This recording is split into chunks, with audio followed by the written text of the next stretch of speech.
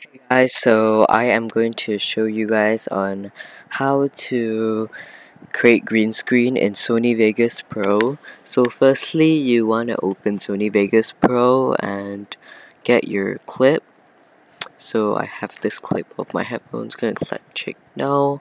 And also I'm gonna delete the audio track for this, but you can totally have it on if you don't want to. So I'm just gonna press delete.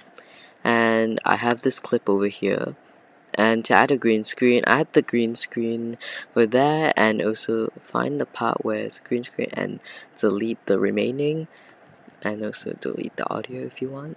And also drag the green screen over top of the video clip. And after that it will look like this. And after that um, go to video effects and hit chroma key and then drag the one that says green screen on top of your clip. And you're just gonna wait for a minute.